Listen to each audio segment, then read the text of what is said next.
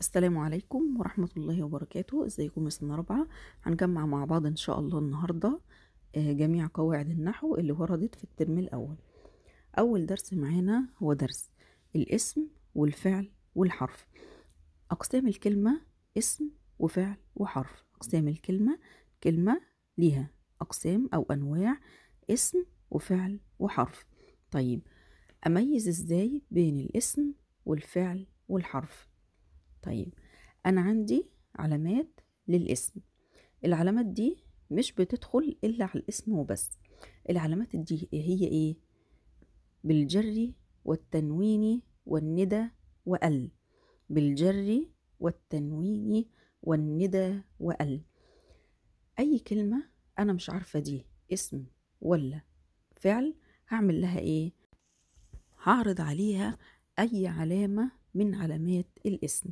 اللي هما الجر والتنوين والندى وال وعندي كمان علامة جديدة هي التاء المربوطة. عمري ما هلاقي فعل أبدا في تاء مربوطة. عندي كلمة مثلا زي كلمة حديقة وكلمة حديقة دي أنا مش عارفة دي اسم ولا فعل. طيب كلمة حديقة دي حديقة فيها إيه؟ فيها تاء مربوطة تبقى اسم. طيب ممكن كلمة تانية زي مثلا بيت. بيت دي أنا مش عارفة اسم ولا فعل. هعرض عليها أي علامة من علامات الاسم اللي اتفقنا عليها اللي هما الجر والتنوين والندى وأل والتاء المربوطة. طيب بيت. أول حاجة الجر قلت في بيت. قبلت. حرف الجر يبقى دي اسم. هقول التنوين بيت. قبلت التنوين تبقى الكلمة دي اسم. هدخل عليها أداة. النداء اللي هي الياء وأقول يا بيت يا بيت على سبيل المجاز مثلا قبلت يا النداء يبقى كلمة بيت دي اسم. تمام؟ بالجر والتنوين والندى وال. طيب. علامة الفعل إن هو مش هيقبل أي علامة من علامات الاسم. الفعل مش هيقبل أي علامة من علامات الاسم. ونقول مثلا كلمة يدرس. أجرب عليه ال هقول ال يدرس ما نفعتش.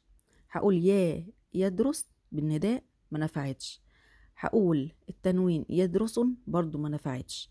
يبقى الفعل لا يقبل أي علامة من علامات الاسم. الفعل لا يقبل أي علامة من علامات الاسم. نراجع مع بعض أقسام الكلمة اسم وفعل وحرف. أقسام الكلمة اسم وفعل وحرف. طيب الاسم ليه أقسام والفعل ليه أقسام والحرف ليه أقسام. نبدأ بالاسم. الاسم ممكن أقسمه لقسمين. ممكن أقول الكلمة دي مذكر ممكن أقول الكلمة دي مؤنث. يبقى الاسم ليه قسمين مذكر ومؤنث. مذكر زي أحمد مؤنث زي فاطمة. تمام؟ والاسم ليه تقسيم تاني اللي هو المفرد والمثنى والجمع. تمام؟ مفرد ومثنى وجمع. طيب المفرد اللي هو بيدل على الواحد أو الواحدة. واحد زي طالب واحدة زي طالبة. طيب إيه هو المثنى؟ المثنى ما دل على اثنين أو اثنتين. بيدل على إيه؟ اثنين أو اثنتين. بزيادة إيه؟ بزيادة ألف ونون أو ياء ونون. يبقى إيه هو المثنى؟ ما دل على اثنين أو اثنتين بزيادة ألف ونون أو ياء ونون. ما دل على اثنين. زي إيه؟ زي طالبان طالبان طالبتان أو بزيادة ياء ونون طالبين طالبتين. طيب إيه هو الجمع؟ الجمع هو ما دل على إيه؟ أكثر من اثنين أو أكثر من اثنتين. أكتر من اتنين يبقى جمع. طيب عندي أنواع للجموع. عندي جمع مذكر سالم جمع مؤنث سالم جمع تكسير. جمع مذكر سالم جمع مؤنث سالم جمع تكسير. جمع مذكر سالم زي إيه؟ زي معلمون معلمين. يبقى جمع المذكر السالم ما دل على أكثر من اثنين. أكثر من اثنين. أكتر من اتنين ذكور يبقى جمع مذكر سالم. طيب بزيادة إيه بقى؟ بزيادة واو ونون أو ياء ونون. طيب جمع المؤنث السالم ما دل على أكثر من اثنتين أكثر من اتنين مؤنث يبقى جمع مؤنث. وجمع مؤنث سالم هنزود إيه بقى؟ بزيادة ألف وتاء. جمع مؤنث سالم بزيادة ألف وتاء. طالبة طالبات طالبة طالبات. طب جمع التكسير ما دل على أكثر من اثنين أو أكثر من اثنتين بتغير صورة المفرد. تلميذ تلاميذ صورة المفرد اتغيرت. كتاب كتب صورة المفرد اتغيرت. علم علوم صورة المفرد اتغيرت. يبقى الجموع دي كلها جموع تكسير لأن صورة المفرد اتغيرت. وبكده خدنا فكرة سريعة عن أقسام الاسم. ندخل بقى على أقسام الفعل. للفعل أقسام أو أنواع ماضي مضارع أمر. ماضي مضارع أمر. طب أنا عندي فعل وثبت خلاص إن الكلمة دي فعل لأن هي ما قبلتش علامات الاسم. تمام؟ الفعل ده أنا مش عارفة أعرف نوعه مش عارفة أعرف نوع الفعل ده ماضي ولا مضارع ولا أمر. الفعل ده ماضي ولا مضارع ولا أمر نوعه إيه؟ الماضي حدث حدث حدث حصل وانتهى في الماضي والمضارع بيحدث الآن والأمر بيدل على الطلب طلب فعل الفعل. طيب كتب يكتب اكتب فعل يفعل افعل رسم ماضي يرسم مضارع ارسم أمر يبقى الأمر بيدل على الطلب والمضارع بيحصل الآن والماضي حدث حصل وانتهى في الماضي. تمام؟ يبقى الاسم على أقسام والفعل برضو على أقسام والحرف برضو على أقسام. طيب الحرف عندي حروف جر وعندي حروف عطف ودول اللي أنا مطالبة بيهم. عندي حروف جر في أغنية عاملاها لحروف الجر عشان هي كتير جدا. ناخد على سبيل المثال من عن في الكاف وعلى وهكذا. تمام؟ وعندي حروف عطف اللي هي إيه؟ حروف العطف الواو والفاء ثم أو. في أغنية برضو عاملينها لحروف العطف. يبقى الحروف المطلوب مني أحدد نوعها يا إما حروف جر يا إما حروف عطف. يجي لي الحرف يقول لي الحرف ده نوعه إيه؟ هقول له يا إما حرف جر يا إما حرف عطف.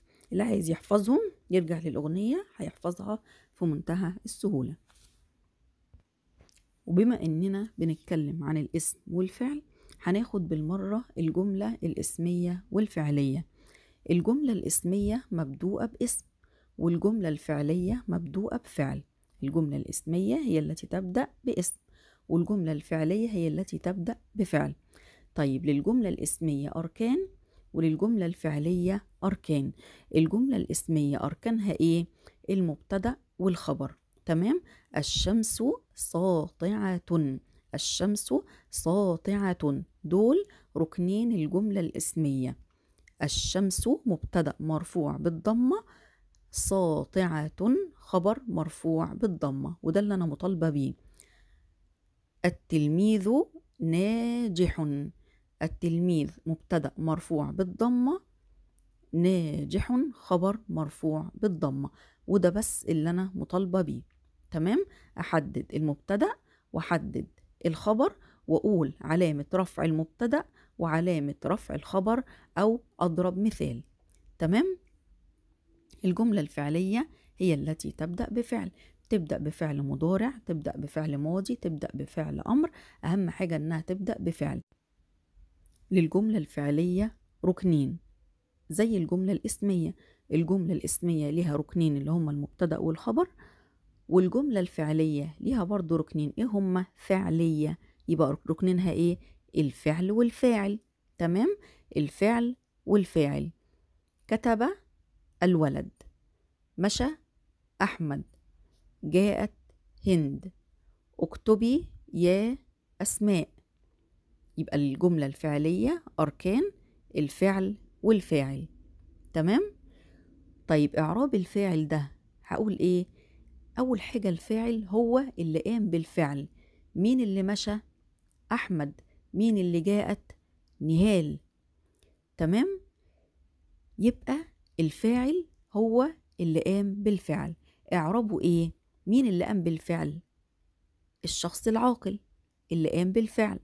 طيب الشخص العاقل ده اعرابه إيه؟ الفاعل دايما مرفوع. الفاعل دايما مرفوع. الفاعل دايما مرفوع. طيب برفعه بإيه؟ برفعه يا إما بالضمة لو مفرد. وبرفعه بالألف لو مثنى وبرفعه بالواو وبرفعه بالواو لو جمع مذكر سالم. يبقى برفعه بالضمة لو مفرد. وجمع التكسير برضو بيترفع بالضمة. وجمع المؤنث السالم برضو بيترفع بالضمة. ناخد مثال.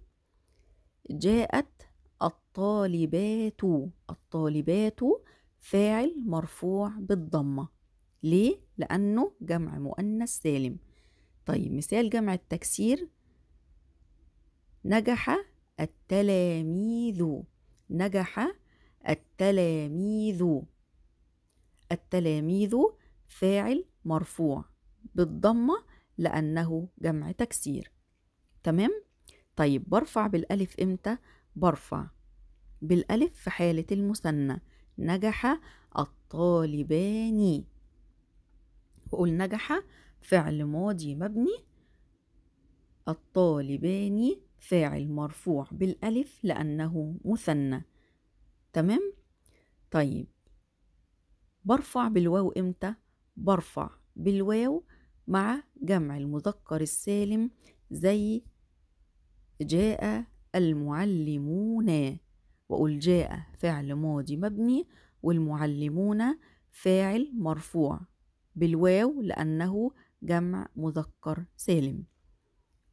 ودي فكرة سريعة ونبذة مختصرة عن الجملة الإسمية والجملة الفعلية علشان نلحق نشرح باقي القواعد. طيب تاني درس معانا اسمه أسماء الإشارة. هذا هذه هذان هاتان هؤلاء. للإشارة خمس أسماء في أغنية الأسماء الإشارة. هذا هذه هذان هاتان هؤلاء للإشارة خمس أسماء. هذا هذه هذان هاتان هؤلاء للإشارة خمس أسماء. وده درس أسماء الإشارة. الدرس اللي بعد كده بيتكلم عن الضمائر وفي طبعا أغاني للضمائر بت إيه بتحفظها لنا بسهولة. طيب ضمائر المتكلم هنقول أنا ونحن دول لمين للمتكلم والمتكلمين.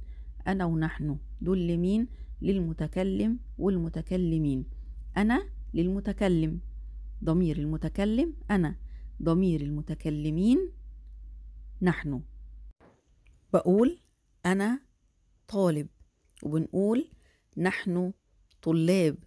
طب للمثنى بقول برضو نحن طالبتان. تمام؟ طيب ضمائر المخاطب. ليها برضو الأغنية بتاعتها اللي هي أنت يو أنت يو أنتما أنتم أنتن you. أنت you أنت you أنتما أنتم أنتن you. أنت you أنت you أنتما أنتم أنتن you. الخمس ضمائر الخطاب دول بيقابلهم ضمير واحد بس اللي هو you في ال English. طيب ضمائر المخاطب الشخص اللي أنا بخاطبه. بخاطب مين؟ بخاطب أنت. أنت أنتم أنتما أنتن. طيب ضمائر الغائب اللي هم مش موجودين ضمائر الغائب اللي هي بتبدأ بالهاء. الغائب اللي هو الشخص اللي مش موجود اللي بقول عليه هو هي. الناس اللي مش موجودة بقول عليهم إيه؟ هو هي. هما للمثنى. هو هي. هما هم وهن. وبكده خلصنا درس الضمائر واللي عايز يحفظهم يرجع للأغنية إن شاء الله. هيلاقيها في قائمة أغاني النحو. الدرس اللي وراه الأسماء الموصولة.